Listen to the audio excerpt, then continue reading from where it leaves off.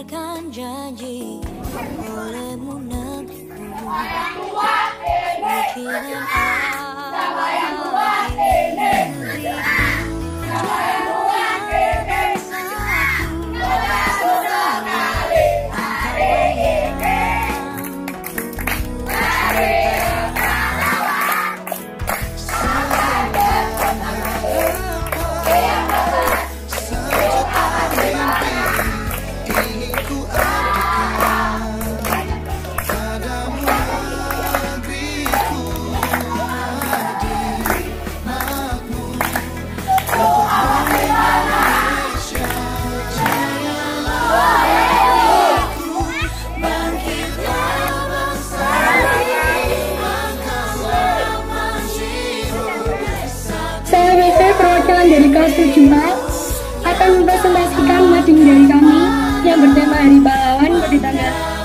10 November ini. Seperti teman-teman lihat, dalam mading ini banyak sekali gambar tokoh Bung Tomo. Karena menurut kami semua, tokoh Bung Tomo adalah tokoh yang sangat berperan penting pada peristiwa 10 November ini. Dan juga dalam mading ini terdapat ada puisi, kata-kata mutiara, dan lain-lain untuk meningkatkan semangat juang pada generasi muda yang sudah mulai pudar.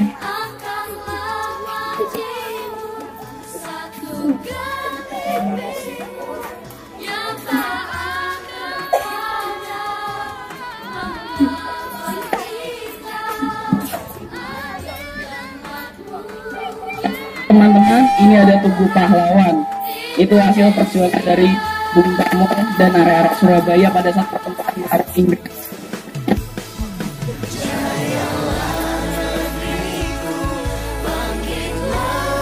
Di sini juga ada gambar pada saat pertempuran melawan Sura- melawan Inggris. Ini juga terdapat terdapat jalan jalan pada saat pertempuran.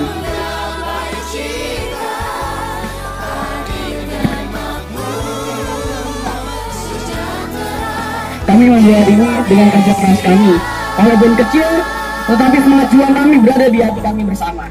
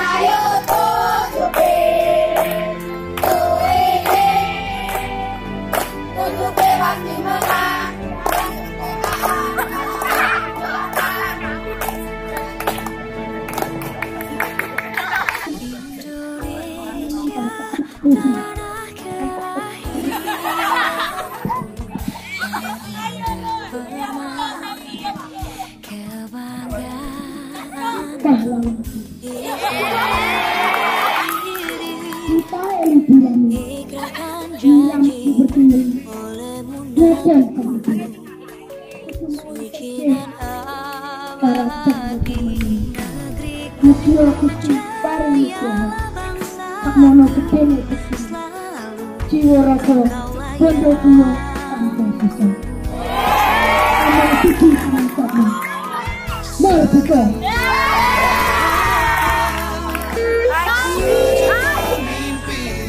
Nah, semangat lagi, selamat pagi teman-teman. Saya Sian-Sian dari kelas 7B mewakili teman-teman saya mempresentasikan hasil mading kami. Kami bertemakan tema tanggapan. Di sini terlihat banyak gambar-gambar. Ada Botomo, ada Akatini, Sukana, dan lain-lain. Bahkan ada juga puisi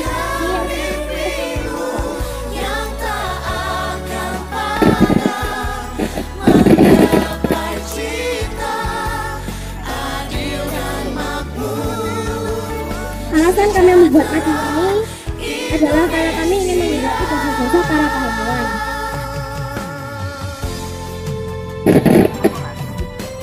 Dan juga kami membuat lagu ini secara kerjasama dan juga kompak seperti para pahlawan yang juga bekerja sama ini memerdekakan Indonesia.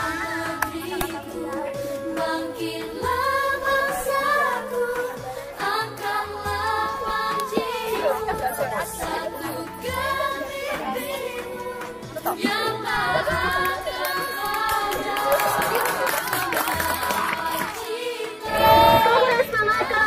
selamat pagi, jawabnya pagi-pagi haya,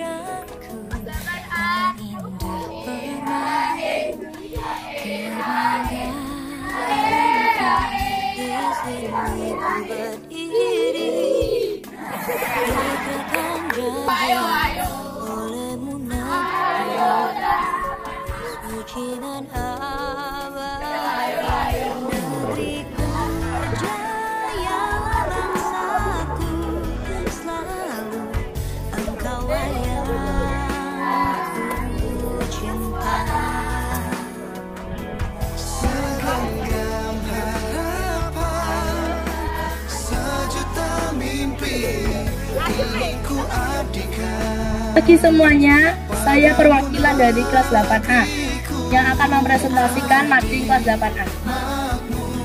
Mading kita bertemakan pahlawan masa lalu dan masa kini.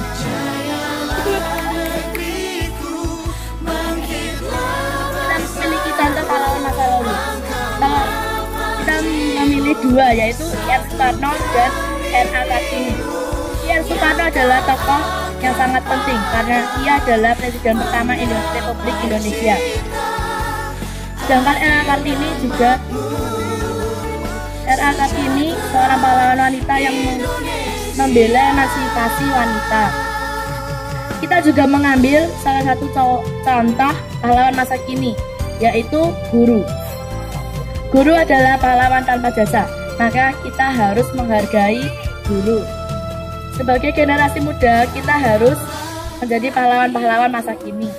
Sekian presentasi dari saya untuk Mading kelas 8A. Terima kasih. Perkenalkan saya dari kelas 8B. Saya Eva, saya dari kelas 8B yang akan menampilkan nilai kami terlebih dahulu.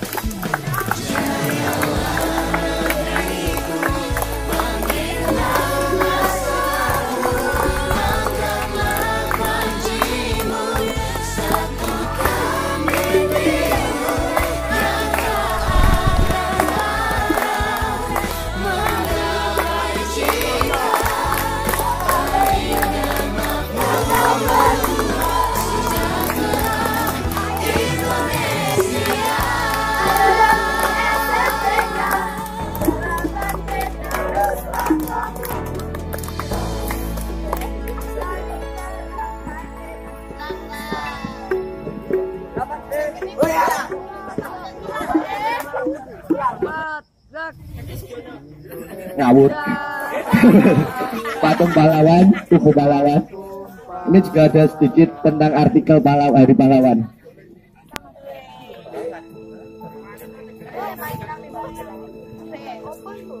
Pertama, di sini ada tubuh pahlawan.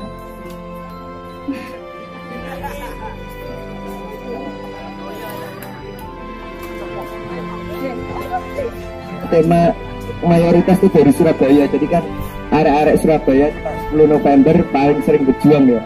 Kalau dari setelah kemerdekaan kita dijajah lagi mau dijajah lagi itu. Tahu kan? Masa kelas 9 nggak tahu waduh Sarai Bukan ada SMPK lebih semangat toh. Banyak SMPK lembes. Di sini kami juga ada sedikit kata-kata mutiara, puisi, sedikit artikel sejarah juga. Sejarah dari pahlawan mas orang kiri apa? Oh iya, eh jembatan. Di sini kami ada dari pahlawan tentang peringatan tentang peringatan 10 November. Jadikan juga sebagai hari pahlawan karena pada zaman dulu itu pahlawan sudah berjuang. Masa kita nggak berjuang? Waduh wih kapan kapan model berjuang ya. Ya itu presentasi dari kami. Makasih buat perhatian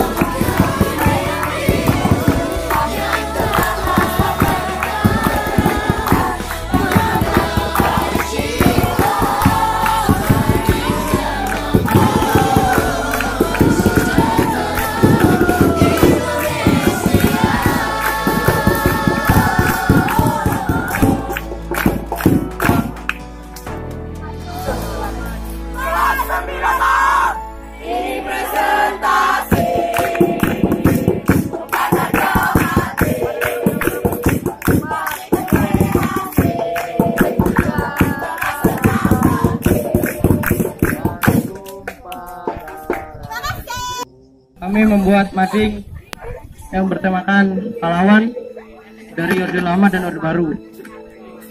Di sini kami membuat mading tiga dimensi ya, bukan mading dua dimensi.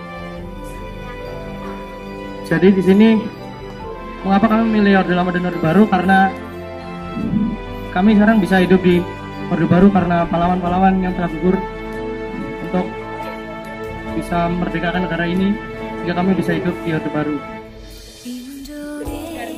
Perbedaan antara Orde Lama dan Orde Baru terletak pada tahunnya. Di Orde Lama, tahun berdirinya 1945 sampai 1965, sementara di Orde Baru 1966 sampai 1988.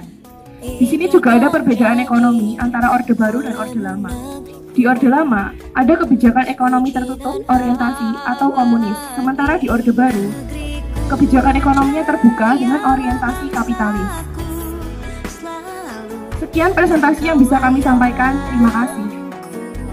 Segenggam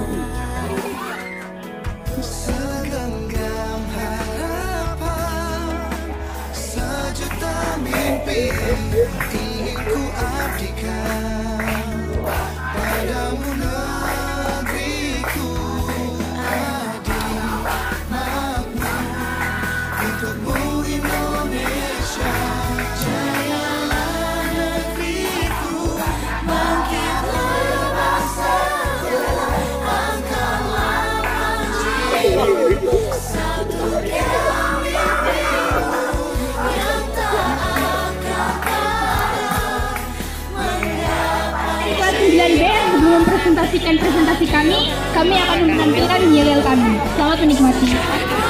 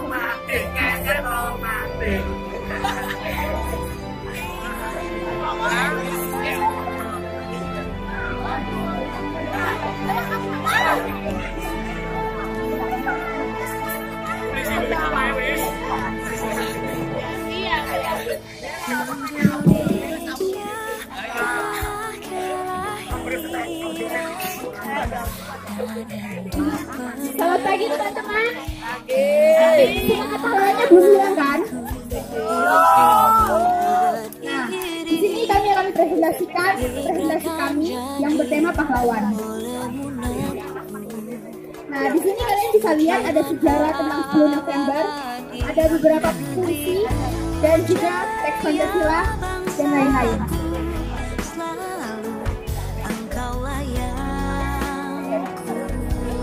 Tujuannya adalah agar, agar siswa SMK dapat mengetahui belakang sejarah SMK. Sejuta mimpi Latar belakang dari peristiwa 10 November. Lalu banyak di sini agar generasi muda dapat mengetahui latar belakang dari 10 November karena banyak yang terjadi karena banyak para remaja yang tidak mengetahui tentang sejarah 10 November. Bangkitlah bangsa Sekian dari presentasi kami. Ini negara kita. Bangunlah kawan, berdirilah. Untuk apa kau terdiam? Kasih saja kita akan tahu perubahan. Kawan. Kita. Negeri kita kaya. Bangunlah kawan. Buka matamu. Engkau masih muda. Masih lama. Demi negara ini.